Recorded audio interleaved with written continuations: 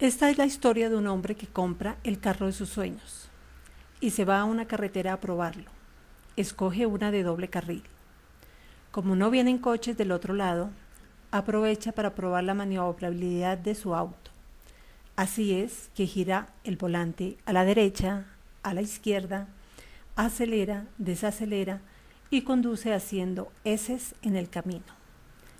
A lo lejos de la carretera salió un auto. Pero como este hombre vio lejos el auto, hizo tres o cuatro heces más en la carretera. Cuando ya vio que el auto estaba cerca, se metió a su carril derecho. No hubo maniobra peligrosa. Sin embargo, el auto que salió en el otro carril venía manejado por una mujer. Y cuando se cruzan, la mujer le grita, ¡Cerdo!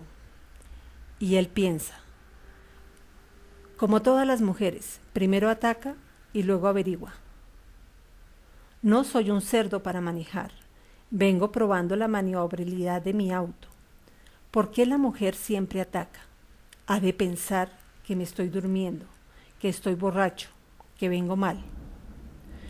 Voltea y le grita, ¡Vaca desgraciada! Todavía le estaba gritando cosas a la mujer cuando al entrar a la curva había un cerdo atravesado en la carretera y choca su auto. ¿Qué fue lo que la mujer quiso decirle?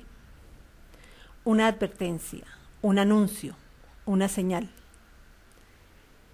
¿Qué entendió él? Una ofensa, un insulto, una agresión. ¿Cuál es la razón? Reaccionó en función a toda la información grabada en su cerebro. La velocidad de respuesta de nuestro cerebro es de una diez mil millonésima de segundo. Es decir, nuestro cerebro puede accesar en un segundo a diez mil millones de recuerdos.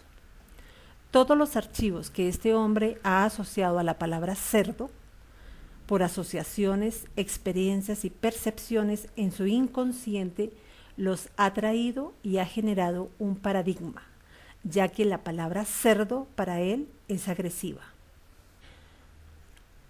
Esto nos demuestra cómo las personas reaccionan en función de la información grabada en su cerebro.